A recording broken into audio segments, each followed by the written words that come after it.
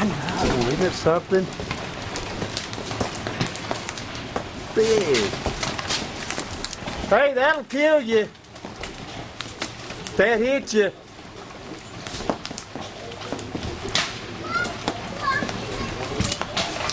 Because it's going to hit him in the head and probably hurt him if he gets hit.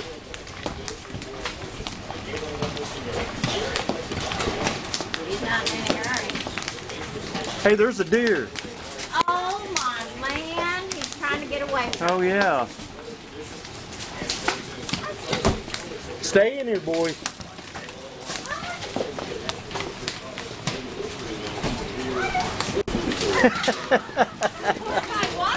Huh?